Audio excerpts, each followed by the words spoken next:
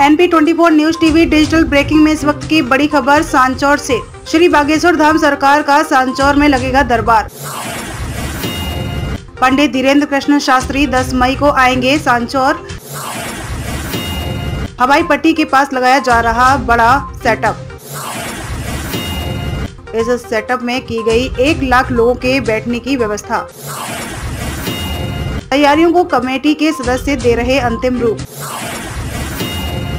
पाँच दिन तक सांचौर में लगेगा श्री बागेश्वर धाम सरकार का दरबार।